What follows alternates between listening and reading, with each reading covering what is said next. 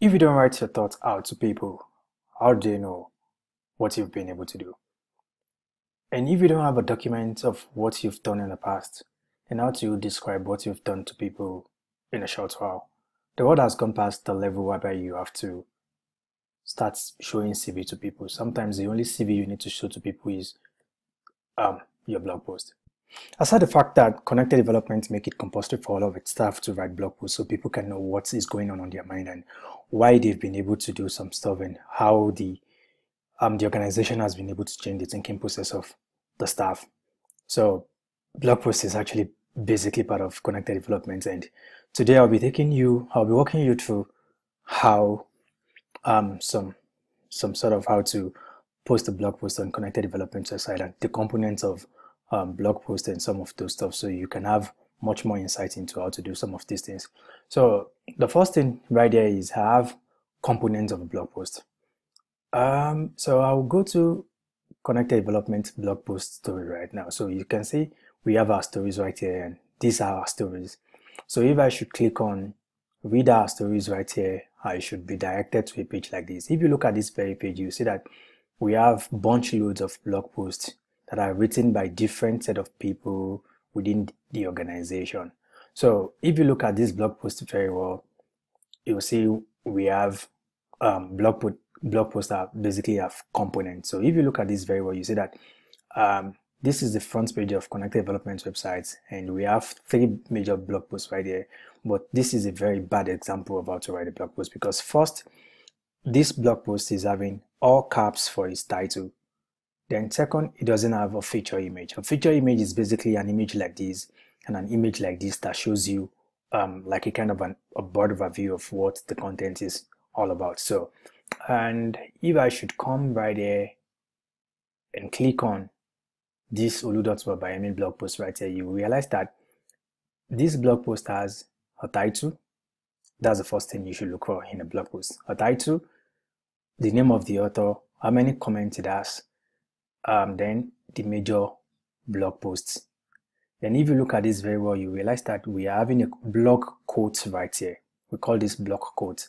And right there, you can see that this is having a red um, kind of um, color aside all the other ones. And this is basically um, tagging. So if you click on this particular click uh, link, you realize that it leads you to another post. So part of how to write a very brilliant blog post is having to tag some people like some like some some articles that has almost the same um, kind of um, almost the same kind of reference to what you're trying to say. So assuming you want to write a blog post right now and you're having some people that said some things that you agree with in a blog post, then it is very good for you to link back to them. So we call this um, linking.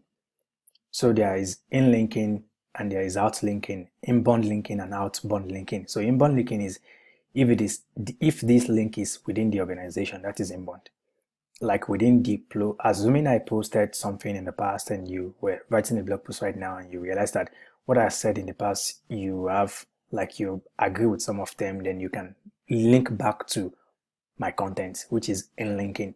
And outbound linking is when you have to link to an external resources. So basically, for you to go into connected development um, um, blog post platform, you have to like sort of come to this address right here. So the address is connecteddevelopment.org slash WP dash admin. That is where you can find the blog post of connected development. So if you click on that link, the link will bring you to something like this. Your page may be different from mine because I have, I have different accounts. Then aside that, I'm the administrator, but for you to be able to see the, the page that you are supposed to be on, just click on this and you find out. It will ask you to request for your username and the password. Both of these details, you already have it because by the time you are watching these videos, that means you must have had um, an account on Connected Development blogging platform. So you just have to log in. Then once you log in, since you want to post a blog post, the majorly like the most important thing for you is this post. You don't need any other thing. The only thing basically you need on this is this post. So all post means it is, it is going to show you all the post that has been written by connected development staff. Add new means you want to add a new post. Then categories means what are the categories of blog posts that we have in connected development and tags is also like a kind of tag that you have on the uh, post. So if we should come back to olu.mabayemi post right there, um, so it doesn't have it doesn't have any tag. That is why you aren't really able to see any tag right here. But nonetheless, um, it's having yeah, it's basically having um, a category, but you can't see the category right here because the category was well hidden. But let us come back here and say, okay, fine, let's go to all posts. So if you should come to our post right here, then you can find all the posts that has been written. Then um olu.mabayemi, this is olu.mabayemi post. If you look at this very well, you can see that categories means this category is news. Then tag, he tagged connected development, Hamzat Lawal, National Endowment for Democracy, and it was published on this date. So now since you want to add a new blog post, the major thing you have to do is just to come to either you click on this add new or you click on this add new. So I click on add new right now.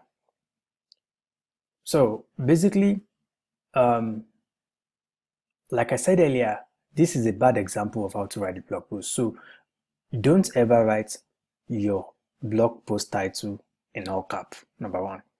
Then number two, never you post a blog post without a featured image like this. So now I come back to the major page right here. Um, olu.un olu.un Babayemi. This is my post title. Then if I want to, whatever I want to write as my part of my blog post, I can just write them inside of here. I can write it inside here. I can write it inside here and basically that's it. And if you need to add um, an image within your blog post, then you can say add media right here. Let me add media. Um, I can now come here. Let me click on this.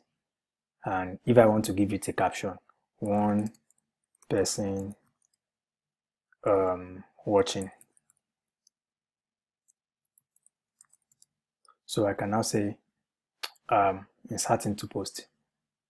So you see that after I have all of my content right here, the next thing I have right here is the image. Then after then, I can now go ahead, write whatever I want to write, write whatever I want to write, like that.